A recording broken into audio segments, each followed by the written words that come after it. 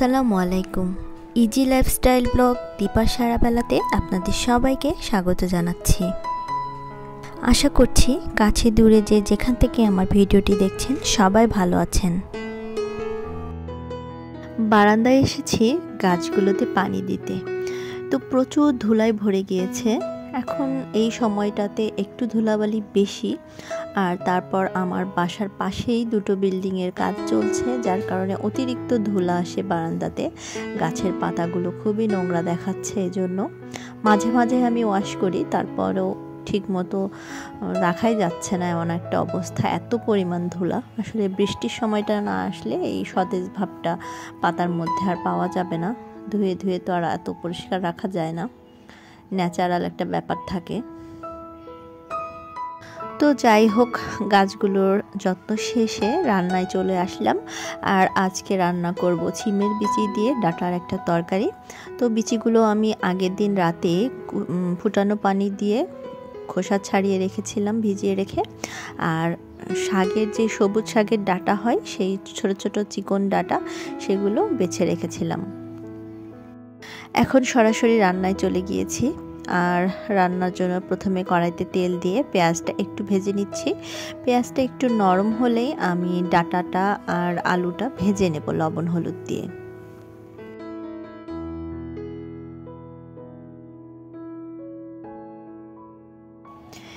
আমি খুব সহজভাবে রান্নার চেষ্টা করি, সহজভাবে সুস্বাদু রান্নার চেষ্টা করি। তো সেজন্য আলু আর ডাটাটা একটু ভেজে নিলে আমার কাছে মনে হয় একটু বেশি টেস্টি লাগে। সুন্দর মতো ভাজা হয়ে গেলে সবজির যে একটা কাঁচা কাঁচা গন্ধ থাকে, ওটা আর আসে না।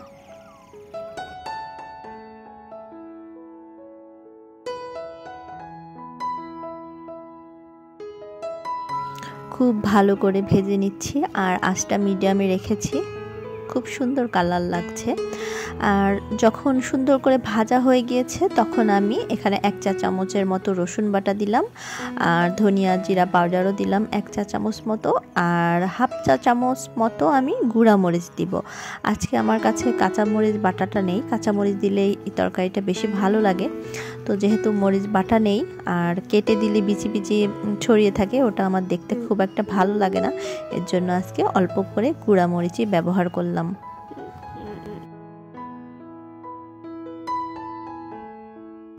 আর ডাটার তরকারিতে খুব একটা ঝাল ভালো লাগে না, মোটামুটি ঝাল থাকলেই ভালো লাগে। তো যেহেতু গুঁড়া মশলাগুলো দিয়েছি, তার জন্য একটু পানি দিয়ে নিলাম। পানি দিয়ে আরও খুব ভালো করে মশলার সাথে ডাটাটা কষাবো।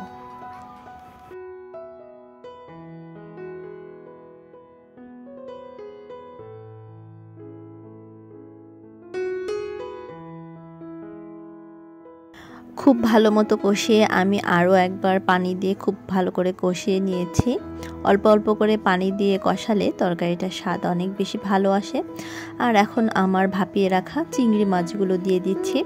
সেই সাথে বিচি রেখেছিলাম ছাড়িয়ে, সেই বিচিগুলো কিছুটা দিয়ে দিলাম।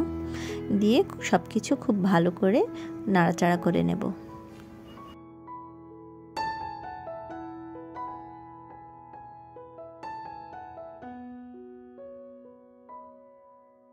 এই পর্যায়েও আর একটু গরম পানি দিয়ে খুব ভালো করে মিশিয়ে নিচ্ছি।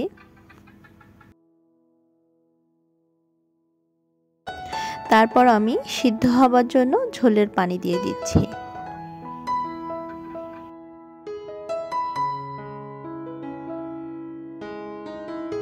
আর আমি আজকে হাঁসের ডিমের ঝাল ভুনা করব, তো সেজন্য ডিমটাও চুলায় বসিয়ে দিয়েছি যাতে সিদ্ধ করে নেওয়া যায়। আর আজকে আমার যে হেল্পিং হ্যান্ড আসার কথা সে আসেনি, তো অনেক কাজই আমার নিজেরই করে নেওয়া লাগছে। ওর আশায় বসেছিলাম, পেঁয়াজ কুচি ছিল না, তো সেগুলো এখন করে নিচ্ছি, ওকে ফোন দিলাম ফোন রিসিভ করল না, তার মানে ও আসবে না। এই তো আমার রান্নাটা হয়ে গিয়েছে। দেখতে খুব লোভনীয় লাগছে, খেতেও তেমনটাই হয়েছিল।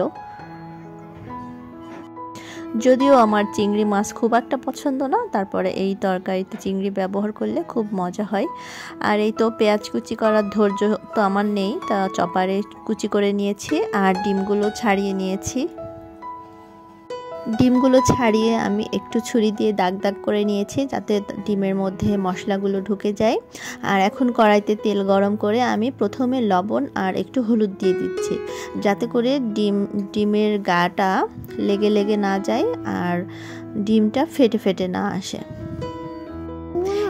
আর তেলের মধ্যে শুরুতে লবণ দিলে একটু ছিটকায় কম। যদিও ডিমে কোনো পানি নেই তো যাই হোক, আমি খুব ভালো করে উল্টে পাল্টে ডিমটা ভেজে নিচ্ছি গোল্ডেন ব্রাউন করে।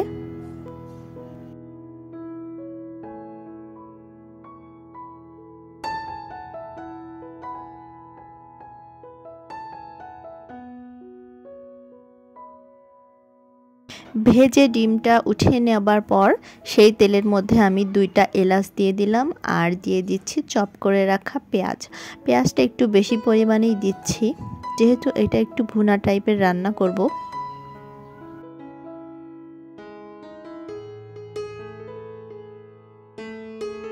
এরপর পেঁয়াজটা খুব ভালো করে ভেজে নিচ্ছি। দুটো তেজপাতাও ছিঁড়ে দিয়েছি। কি এক তেজপাতা কিনে নিয়ে এসেছি, কোনো ফ্লেভার নেই, কিচ্ছু নেই, তাই মনের শান্তির জন্যই দিলাম। আর এখন আদা বাটা আর রসুন বাটা দিয়ে দিলাম এক টেবিল চামচ পরিমাণ করে। আর হলুদ গুঁড়াও দিয়ে দিচ্ছি পরিমাণ মতো। মরিচের গুঁড়াও দিচ্ছি পরিমাণ মতো। সেই সাথে ধনিয়া জিরা পাউডারও দিয়ে দিচ্ছি পরিমাণ মতো।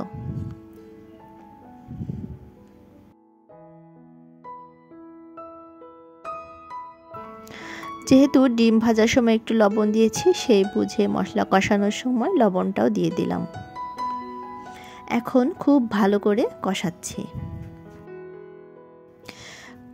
কষানোর এই পর্যায়ে একটু পানি দিয়ে নিলাম, এতে করে মশলাটা খুব ভালো করে ভুনা ভুনা হয়ে যাবে, পেঁয়াজটা সিদ্ধ হয়ে আসবে। এভাবে কষিয়ে নিলে মশলার স্বাদটা খুব ভালো আসে। তো খুব ভালো মতো যখন কষানো হয়ে গেছে, মশলা তেল ছাড়া ছাড়া হয়ে গিয়েছে, এই পর্যায়ে আমি ভেজে রাখা ডিমটা দিয়ে দিলাম। আর ডিমটা দেবার পর আমি আরও কিছুক্ষণ একটু মশলার সাথে নাড়াচাড়া করে নিলাম। নেবার পর আমি ফুটানো দুধ ছিল, হাফ কাপ পরিমাণ একটু দিয়ে দিলাম। এই দুধটা দিলে বেশ ভালো লাগে। ইচ্ছা করলে টক দইও দেওয়া যায়। তো আমার বাসায় টক দই ডিপে ছিল, বের করতে পারিনি, যার কারণে তরল দুধ জাল করা ছিল, সেটাই দিয়ে দিলাম। এতে ঝোলের টেস্টটা অনেক বেশি ভালো আসে। তো দুধ দেবার পর খুব ভালো করে কষিয়ে নিয়েছি। এখন আমি ঝোলের জন্য পানি দিয়ে দিচ্ছি। আর এটা ডিমটা তো সিদ্ধ করাই থাকে, তো সিদ্ধর জন্য তেমন কোনো প্রয়োজন নেই জাস্ট মশলা আর ডিমটা মজানোর জন্য যতটুকু পানির প্রয়োজন আর কতটুকু ঝোল রাখতে চাই সেই অনুযায়ী পানি দিলেই হয়ে যায়। তো পছন্দ মতো আমার ঘনত্ব চলে এসেছে, তখন আমি আমার ঘরে ভেজে রাখা গরম মশলা আর জিরার গুঁড়া একসঙ্গে সেটা দিয়ে দিলাম। রান্নার এই পর্যায়ে এই মশলাটা দিলে খুব সুন্দর একটা ফ্লেভার বের হয়। ইচ্ছা করলে একটু ঘিও দেওয়া যেতে পারে, কিন্তু আমি ঘিটা স্কিপ করলাম, শুধু গরম মশলাটা দিয়ে চুলাটা বন্ধ করে রাখলাম। এই তো হয়ে গিয়েছে মজাদার হাঁসের ডিমের ঝাল ভুনা। আজ এ পর্যন্ত শেষ করছি, আর আজকের ভিডিওটি ভালো লাগলে লাইক দিন। আপনার কোনো ইতিবাচক মতামত থাকলে কমেন্টে জানান। আমার সঙ্গে থেকে অনুপ্রাণিত করতে অবশ্যই সাবস্ক্রাইব করুন এবং পরবর্তী ভিডিও পেতে পাশে থাকা বেল বাটনটি ক্লিক করে রাখুন। সবাই সুস্থ থাকুন, নিরাপদে থাকুন। আল্লাহ হাফেজ।